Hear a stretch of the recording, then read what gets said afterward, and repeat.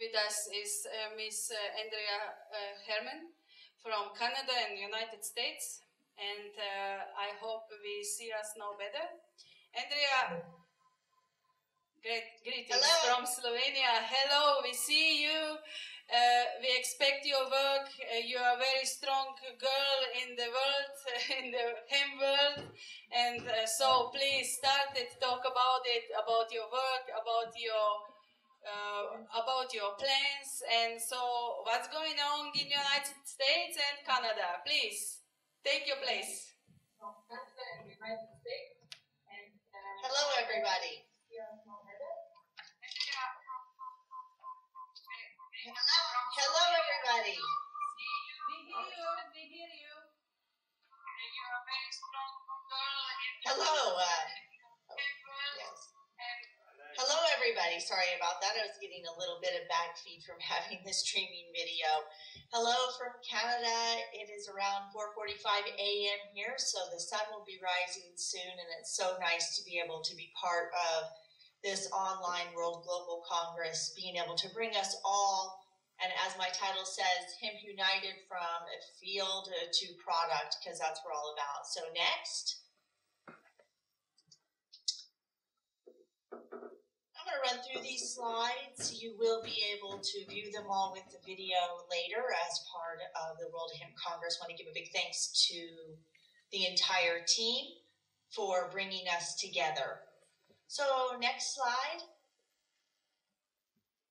In February, as most of you know, last year, the Agricultural Act of 2014, the U.S.'s Farm Bill, Section 7606, brought forward legitimacy in industrial hemp research and further defining industrial hemp and allowing institutions of higher education and state ag departments to start cultivating hemp in research pilot programs. Next slide. In addition to that, we had two more bills, acts that were brought forward. Those were part of the Commerce, Justice, and Science Appropriations Act. And these are what controls the budget for the Department of Justice and essentially the DEA. And these two acts that got became part of 4660 essentially said that the Department of Justice and thus the DEA were not allowed to use funds to contravene Section 7606. This was really important. So, this really brought the DEA on board and aligned the Department of Justice with the Farm Bill. Next slide. Currently, we have HR 525 and S134. These are the Industrial Hemp Farming Act of 2015. These two bills, one in the House and one in the Senate, would exclude hemp from the definition of marijuana under the Controlled Substance Act and then allow growing and processing of industrial hemp be implemented under state law. So HR 525 and S134 are in the United States' Congress. So we are encouraging everybody in the United States watching to please go to votehemp.com, go up to that Take Action tab, take action, and ask your legislators to co sponsor these federal bills. Next slide. Now, there's a new amendment act that has been put forward in the Commerce Justice Science, and this is HR 2515. And this, this amendment prohibits the funds from the Department of Justice to contravene the Section 7606. So this one was in place.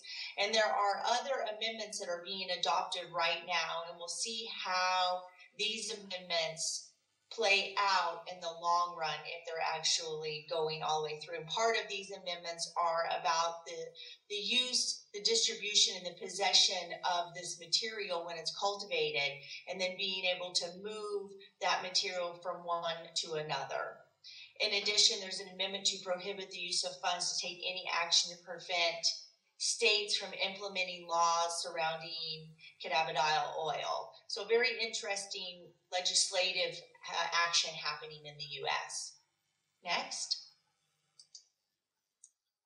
So here we have a map of the 2015 hemp legislation. So as you can see, there are 25 states that have a law that would function underneath Section 7606 of the Farm Bill. Thus, 25 states are allowed, if they have the rules in place, to actually cultivate industrial hemp. As you can see from this map, you can see where the stars are at. In each one of those states, we do have hemp research. So in 2015, we had hemp research happening in Kentucky, Colorado, Tennessee, North Dakota, Indiana, Hawaii, Vermont, and Oregon. And so to talk a little bit more about those research projects, next. Here's a photo of the University of Kentucky, and this is Dr. David Williams, and these are the research trials there. They have over 20 different cultivars that they are trialing at the University of Kentucky not to mind the project happening at the University of Kentucky, but you also have multiple projects happening on farm. So in Kentucky, they have opened up for producers to come on and actually get their license through the state and in relationship with the state ag department to do on farm research also. So this is Dr. David Williams at the University of Kentucky. Next. Another project is happening at Middle Tennessee State University by a young man by the name of Clint Palmer. Clint has not only greenhouse project, but also a field trial.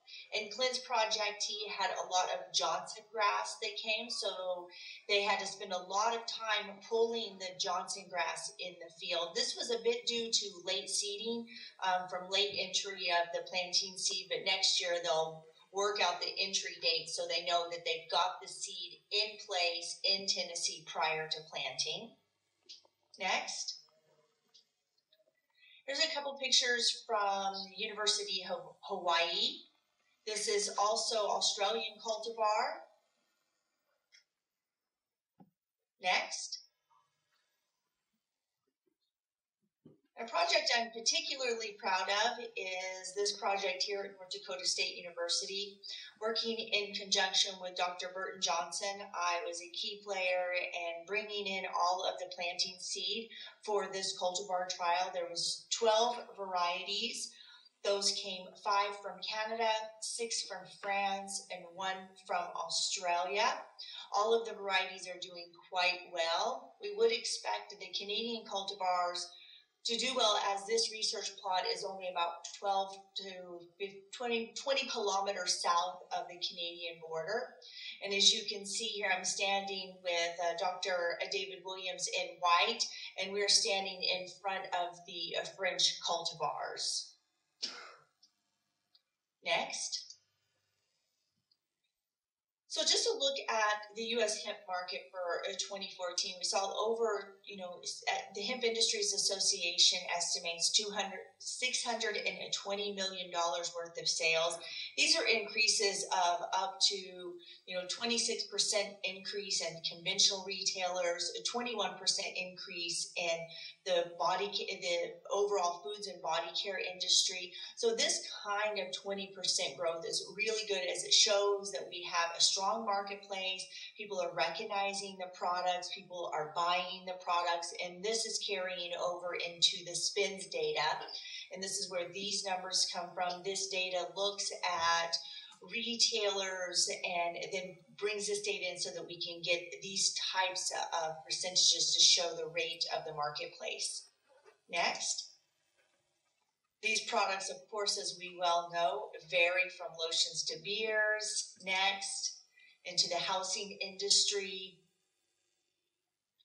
Next, one of the things I'd like to also invite everybody to share is Oregon State University is offering WSE 266 on industrial hemp. This is a course, three credit hour course solely focused on hemp. It is an e-campus online course.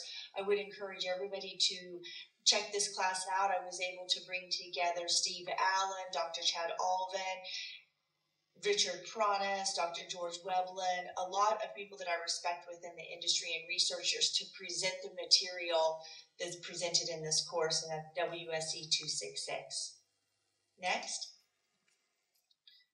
I'm also part of the Hemp Industry Association. I am the current president. We are a nonprofit in the United States and, and, love to have the opportunity to work with our global community, such as everybody listening in. And World Hemp Congress, thank you for all your support and, and promoting and sharing the work of the Hemp Industries Association. Part of that work is next is our lobby day. Um, so this is uh, a couple years back in Washington, D.C. So we all come together for our national conference and have said lobby days or different types of actions. And now that we've got the cultivation and industrial hemp in the U.S. underneath Section 7606, this provides us opportunity to start going to those states and really using the action that's happening as a strong message about how we can be cultivating hemp in the United States. And one of the activities the Hemp Industry Association has is 18 uh, next slide is Hemp History Week. This is the nationwide education campaign and marketing program that seeks to renew strong support for hemp farming in the U.S. And really, we could have a global hemp history week where we all come together around the globe to celebrate our hemp history. So we definitely invite you oh, to, to check out our hemphistoryweek.com. The event was has passed. It was June 1st through 7th. And we'll look forward to the seventh annual Hemp History Week next year. So please get involved around the globe and help supporting Hemp History Week, not only in the U.S., but in where you're from. Next we would like to extend an invitation to our global community here um, to attend the Hemp Industries Association's national conference coming up in Lexington, Kentucky. We'll have a field tour. There's going to be uh, all kinds of great lectures. There's going to be a great trade show. So I want to just give a big shout out to our Kentucky State chapter and all of the other state chapters of the Hemp Industry Association and our national board and all of our members. And so, be, on behalf of all of them, please welcome to our conference in Lexington, Kentucky. And you can check us out at thehia.org. Next. So now I'd like to switch just to talk briefly about the Canadian regulations. Um, these regulations are SR SOR 93156 Part of those is a list of approved cultivars, which I'm going to talk on in just a little bit as we start to discuss pedigreed seed production. So these are a bit of the regulations. As, as most of you know, we're based on 0.3%, unlike in the EU, it's 0.2%. But we are right now underneath a regulatory review. Next. So the Canadian Hemp Trade Alliance in December of uh, 2013 has called the Canadian government to, to deregulate the production and processing and export of industrial hemp.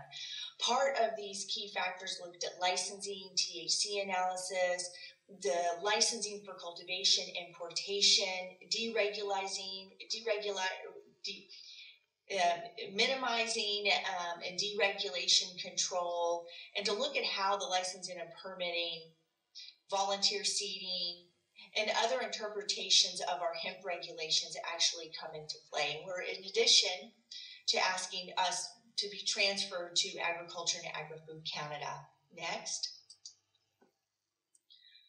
So part of that is ongoing relationship between Health Canada, Agriculture and Agri-Food Canada, the Canadian Hemp Trade Alliance to talk about how do we continue watching the developments and how do we stay relatively low on the priority. This is we're relatively low on the priority list for health canada so how do we increase our priority listing and the overreaching point is that the industry wants deregulation and that it's the point where we continue to reinforce with whomever we're communicating. So the board and the executive director of the Canadian Hemp Trade Alliance are continuously in communication.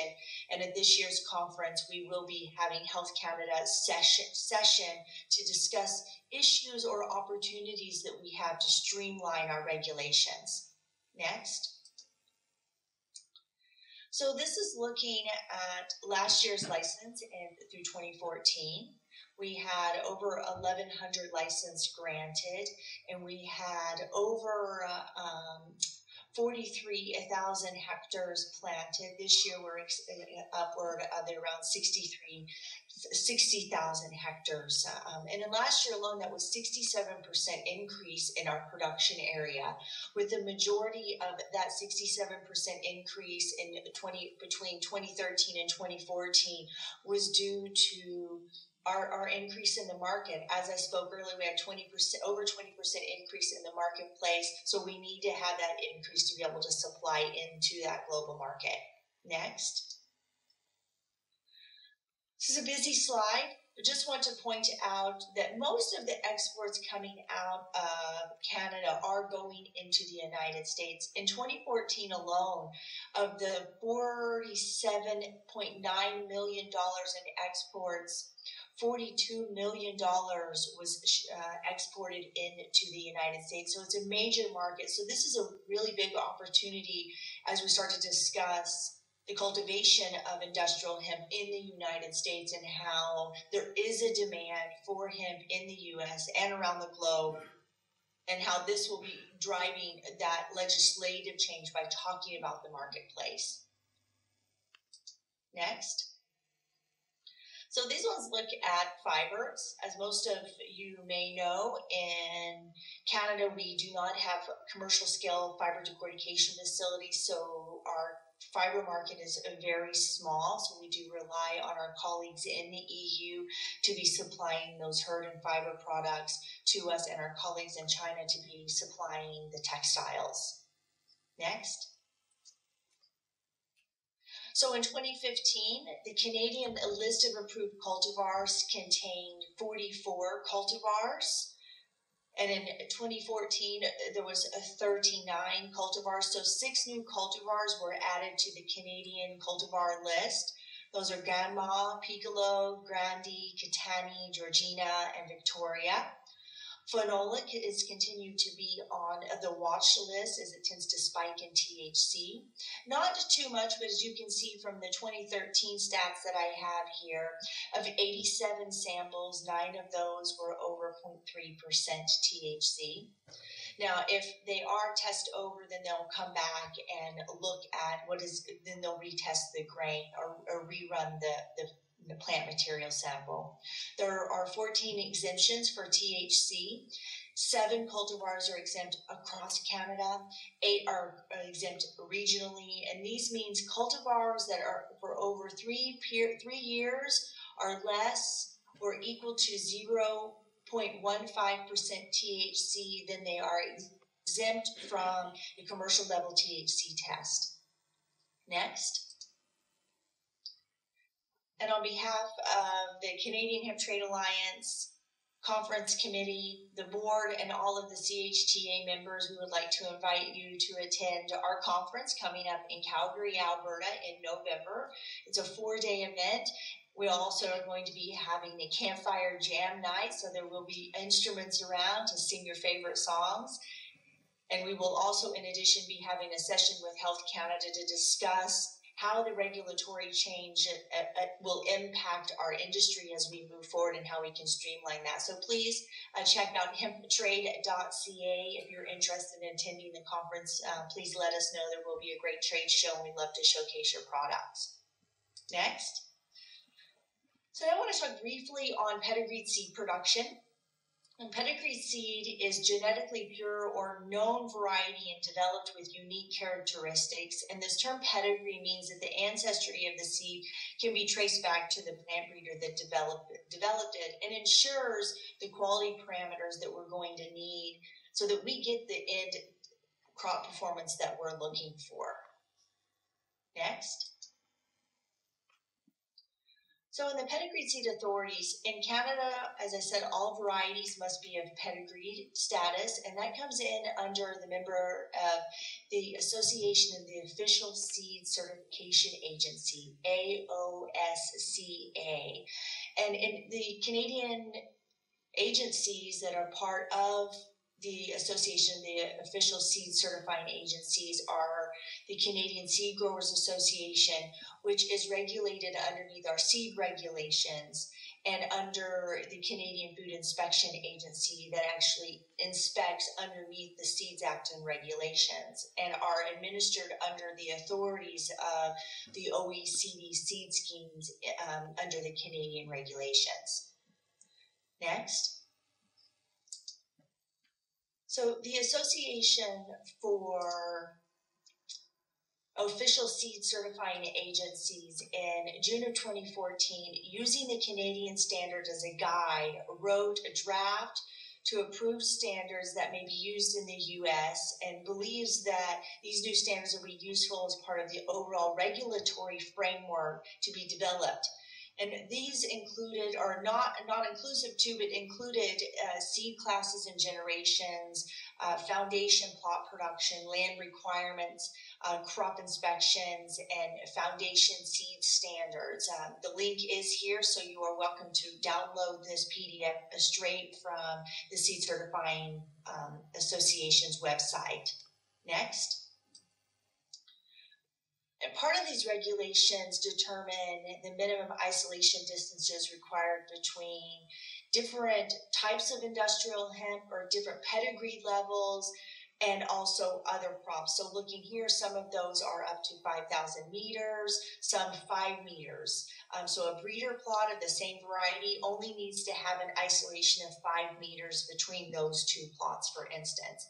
In addition, it also looks at the minimum purity standards or impurity standards. So when the inspector goes into the field, they're looking for different standards of purity to be able to judge whether or not that cultivar is within the right pedigree status and has been maintained and rogued properly. Once again, you can find all of these on the official seed certifying website. So Association of the Official Seed Certifying Agencies. You can download this PDF from this June 14 draft that they put forward based on the Canadian regulations. So just to hit briefly about agronomy, you know what, if we wouldn't have the, the farmers, so just want to give a big thanks to all the farmers out there and all the people working with the producers to encourage the cultivation of hemp. So thank you so much. Just to give a brief about agronomy here, I mean, of course, we've got to have the field and the right cultivars. That's really key as we start to look at research, not only in the US, the continued research in Europe and in Canada and in China, but as we start to help all of our partners around the world talk about cultivars and get access to these types of cultivars, of course, we want to respect plant breeders' rights. And so once we've got those varieties in the ground and we can examine and figure out which cultivars are going to work best for what kind of cropping rotations that we're wanting to work at or what kind of product that we want to get off at the end of the day. You know, we're looking at the sowing, we're looking at fertilization, and how do we deal with the weed and disease and insect control?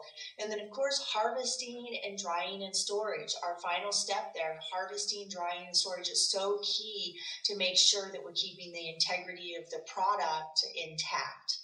Next.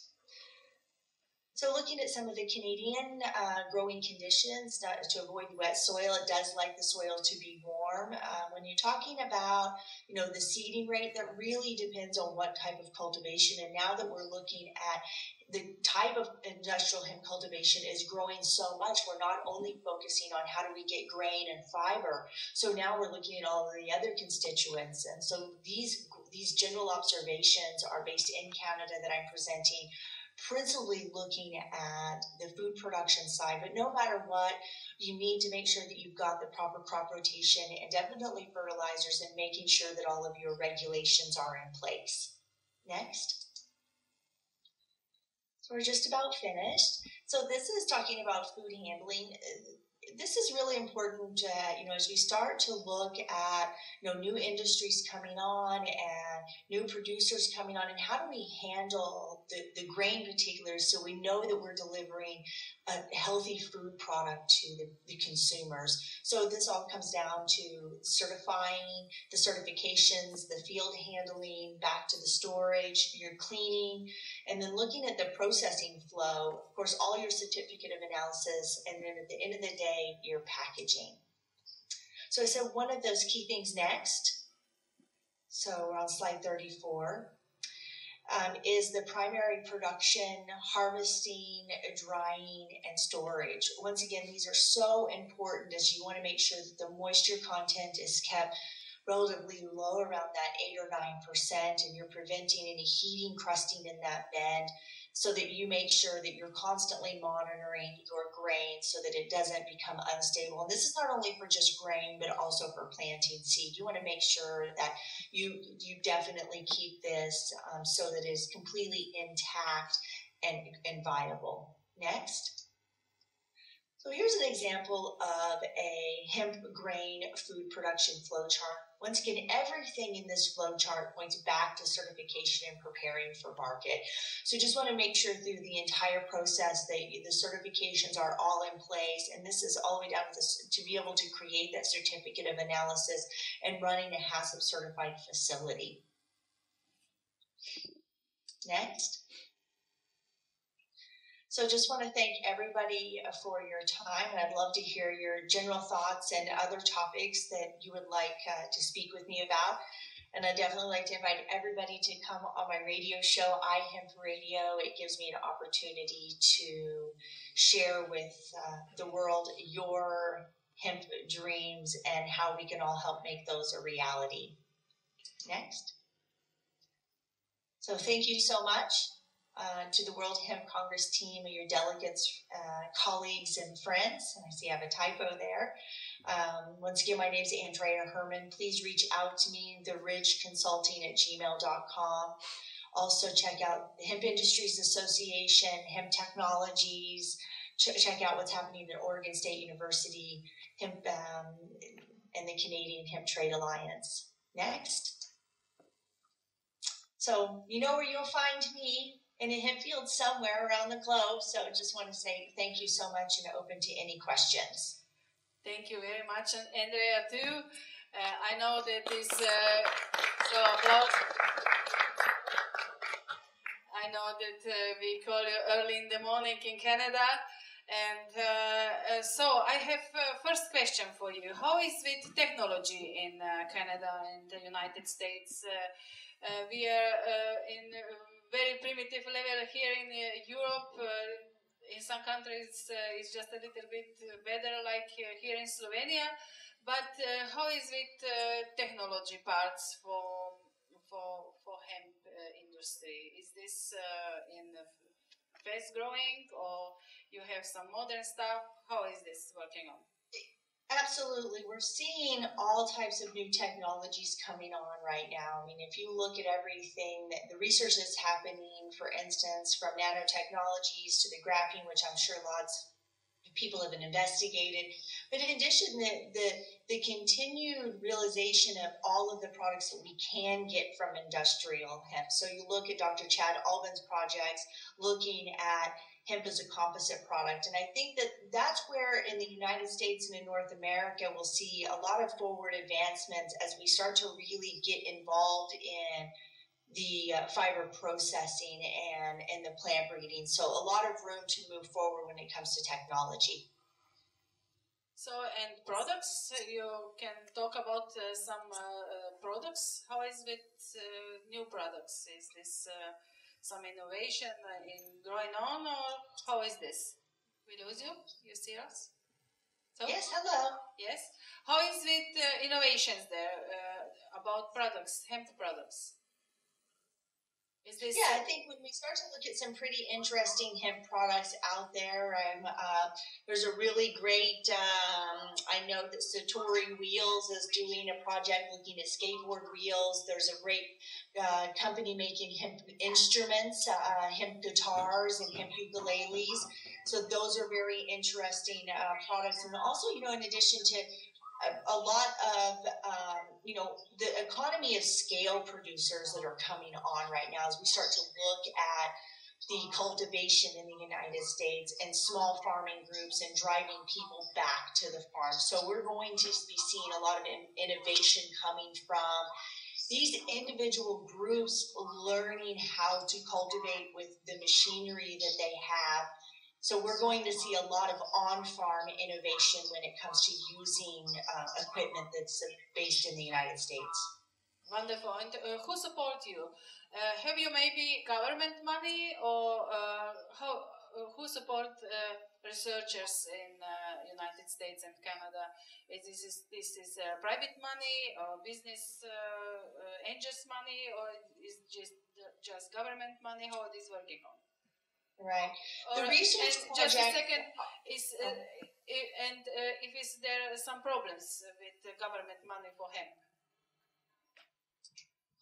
Right now in uh, um, Canada, the funding for the research projects are government funded, provincial, both federal and provincial, plus private industry funding with matching dollars. So thankfully in Canada, we do get some government support to conduct the research that needs to be done, continued variety trials. If we look at the research coming out of the Alberta Innovates group, so th- that is really key to the forward movement in Canada. Now, in the US, it has been mostly private and some institutional funding put forward. Some states have provided some funding, but it's been very, very limited. So most of what's happening in the United States has been in-kind contribution and um, you know people just providing donations so that projects can get complete. So then when, uh, we, we can make it uh, green line or red line uh, that we need uh, government money and uh, we must ask government that uh, they open the door to this money, that this money will come inside too. So I will take uh, microphone to audience. I see some questions here for you. Just a second.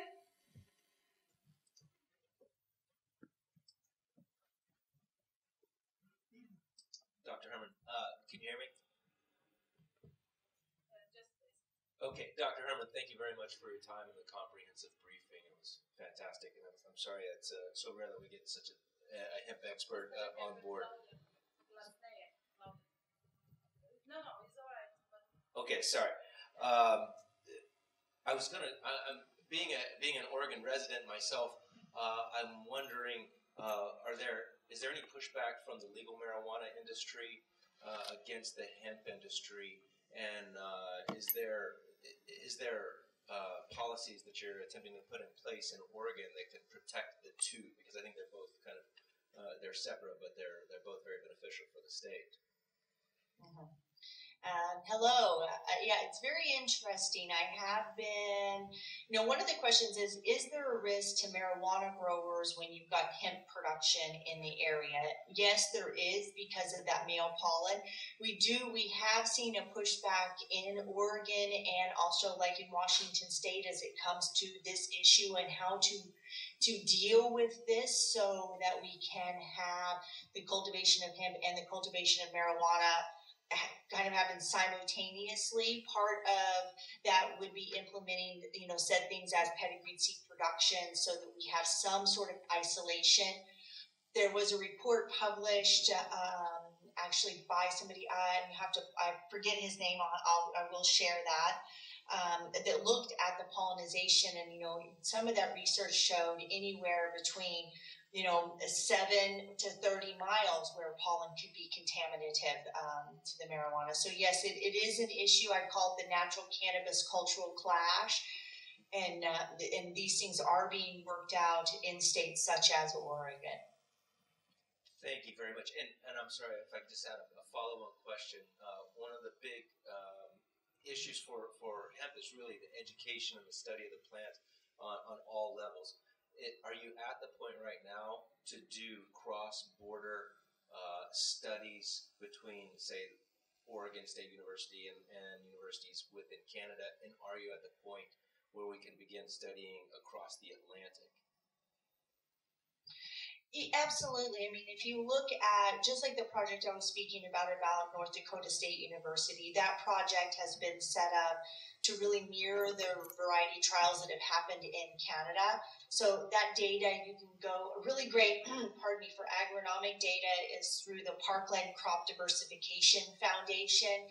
Based in Roblin, Manitoba. They have all of their PDFs online, and that looks at basic agronomic research.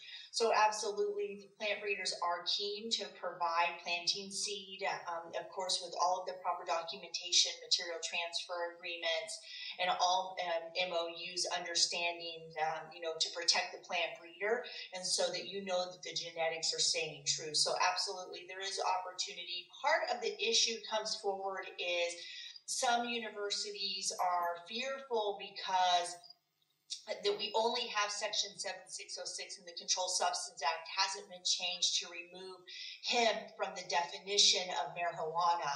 Um, so it's going to be very interesting and, and that's part of some of the university's fears is will they risk losing federal money if they try to push a hemp agenda? Hi Anndrea um, yes. I had some question about hemp food. Um, if you could tell us uh, what do you think about the future of, of hemp food market in United States and Europe? Also, especially if you can talk about what you think about hemp milk. And, hemp uh, milk. Hemp milk. Okay. Um, well, I know, when, as Daniel was saying, we, you know, it's it's um it's a very switch. So if we look at the, the market in Europe, it's mostly a fiber based market, but they have a growing food industry happening. So we need that hemp education definitely in Europe to educate about the use of hemp foods and start incorporating those in into the diet so that we can start to drive that market in the EU. In the United States, I see the hemp food market growing.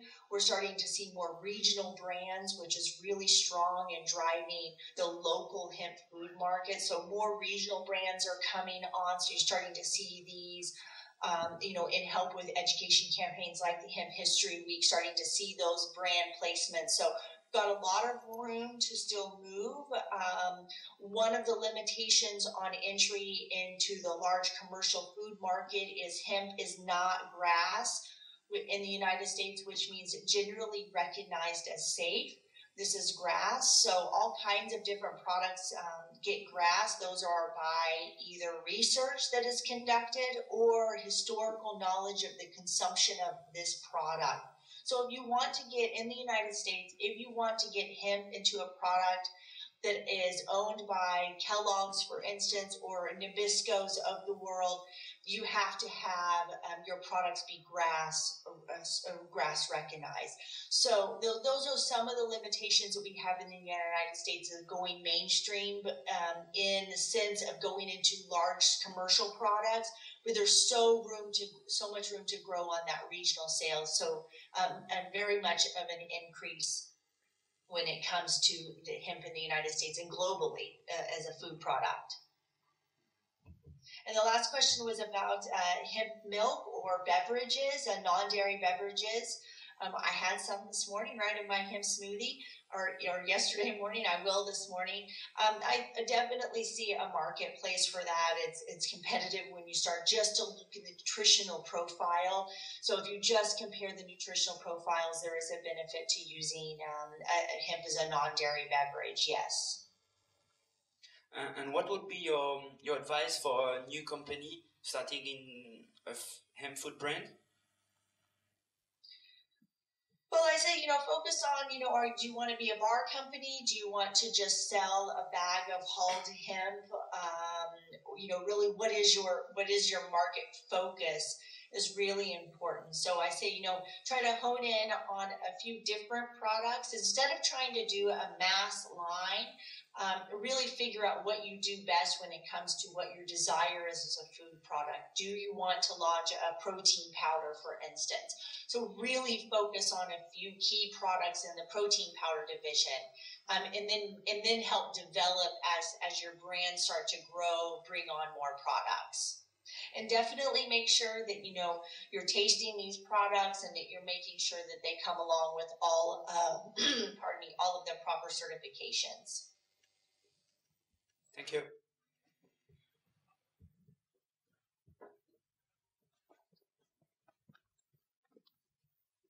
Uh, hello. Hi, uh, Anndrea. Um, nice to uh, see your talk. I uh, just got a quick question, which is with regards to um, products ranging from cosmetics to food products. I've seen quite a few in the US uh, which uh, got um, CBD in them, and obviously they're not going to be recognized or reg- uh, regulated by the USDA. Uh, so, what is your what is the situation with regards to that? Because um, people are buying those products for themselves um, using them, but they're not recognized. And if one wants to import those products, most of which are being made in the US, uh, if they want to import them to other countries, CBD products, then what would be the situation? I don't know what it is, the situation for importing from these countries, but if you've got any insight, that would be great. Yeah, it, it's I'll definitely say that this, we start to talk about CBD, particularly in cannabinoids in the US, it's a very gray area. We have had the FDA has brought forward a ruling saying that CBD cannot be listed as a dietary supplement as it's not registered with the FDA. Further stating that will the FDA um, eh, come after or uh, um, put forth a penalty to companies. They said based on the threat. So we definitely know the FDA has come forward and saying CBD in the U.S. is not a dietary supplement. Um, but now the question comes: Is naturally occurring cannabinoids? Um, can we market a body care product based on that? We do not have a definite ruling based on a free for sale product. Some states have put forward their own legislation um, legalizing CBD and other cannabinoids. So, how does that protect um, states' rights versus the federal government? In addition, they have come forward saying that underneath Section 7606, it does not um, allow you to take and create a Schedule One drug from industrial hemp. So essentially, if CBD is still listed, then it's not allowed underneath Section 7606. However, when you see the overall forward movement of cannabis legislation in the United States, it's a very, very gray area. Um, and I know that there's going to be some other presenters that are going to specifically be talking about this issue. Um, so definitely just stay tuned to the other presentations that are going to really be honing in on the issue of CBD in the U.S. But there, it's definitely a, a gray area. Okay, just one last thing. I hope to sign up to your course online in January. So I look forward to engaging with you more. Thanks very much. Absolutely. It'll be interesting.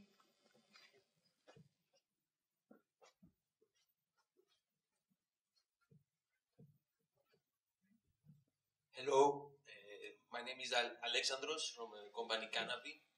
We are trying to build a, a testing lab uh, facility here in Europe, and I would like to ask you regarding the certification you mentioned in uh, North America, US, or Canada. Is it the, the testing methods have been certified? There is any standardization on what the, each product should be incorporated inside their analysis? Does the the government, U.S. government or Canada government, has done any policies regarding the, start, uh, the testing of these products. And, and you were saying a, a food facility, correct? Uh, I, I will say also it would go also on the food facility, yes a food facility. Yes. Uh, yeah, I mean, there are, you know, when you start to look at food standards, these would fall in a line with any general food standards that are put forward by government. So the amount of E. coli that you can have in a product, for instance, which is none, or molds and yeast. Typically, these types of basic food standards are regulated, and so there's not a set standard per se from the hemp industries when it comes to what has to be on a certificate of analysis, but most of the time those are pretty basic. So if you're running a certificate of analysis on um, flax oil, it would be the very same analysis that you would be running on uh, a hemp seed oil. Thank you. So those are basic food standard parameters.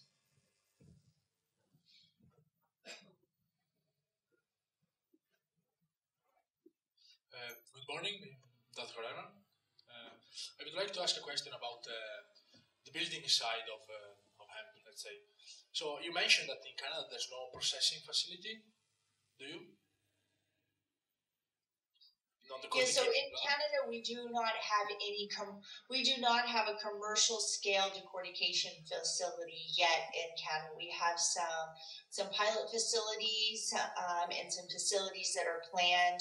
So it's part it's part of an opportunity um, in Canada is to build a fiber decortication facility. And right now, um, like my company, Hem Technologies, we're working with uh, Dun Agro and bringing in from the Netherlands and other fiber suppliers to be able to supply the the hurd and binder um, for hempcrete and other types of construction projects. Yeah, because considering that uh, if you import sheeps for hempcrete or whatever uh, across the ocean, it uh, would carry a lot of uh, embodied energy whatsoever, so it would be by far not sustainable. And uh, on the other hand, uh, considering that maybe an, average hectare yields six, eight tons of straw, uh, it, it's uh, on the other hand, it's a, it's a big waste. So, what, what you do currently with all the, the straw that is not used? Well, the varieties that are being grown principally in Canada are shorter stature cultivars, so they're not, um, they're getting maybe, you know, a meter and a half, two meters tall.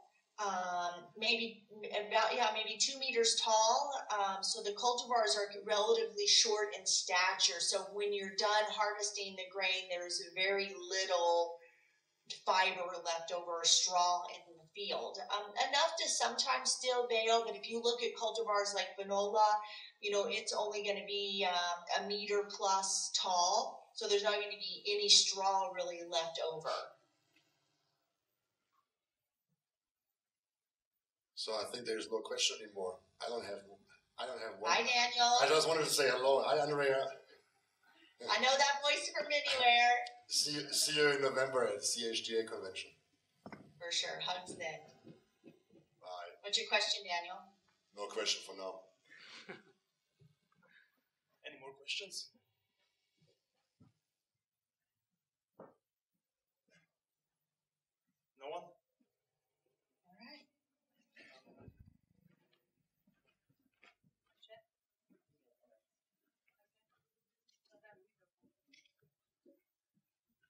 Thank you very much, Anndrea. Thank you very much, Canada.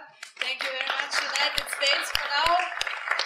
So, stay with us. Maybe go sleep for some hour and then come back again. And uh, thank you, Anndrea. Stay in world, stay in world of hemp, and be strong like you are, and uh, change the world. Bye bye, and uh, see you next year. Thank you. Bye bye. Bye bye.